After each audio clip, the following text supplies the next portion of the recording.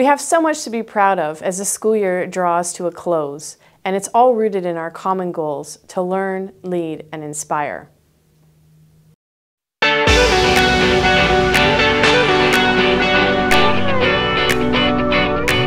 We've learned a lot.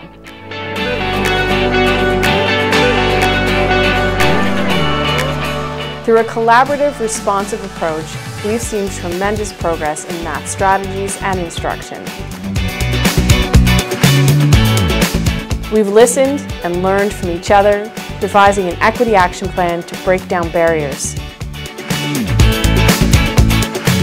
We've deepened our understanding of histories and calls to action on the path to reconciliation. We're leading the way. We've taken a clear stand in our commitments to anti-racism. We have strong leaders carrying out school improvement plans that show the way to continued success. And our leadership has grown this year with hundreds of new staff members coming on board, sharing our mission and vision. We're ending the year on an inspired note. The voices of our students have been instrumental in shaping the direction of well-being and belonging in our schools.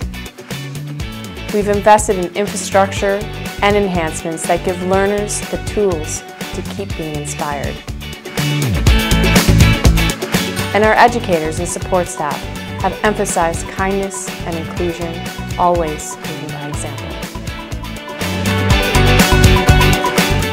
My gratitude to staff members of Grand Erie for making our communities places that truly learn, lead, and inspire each other and each learner.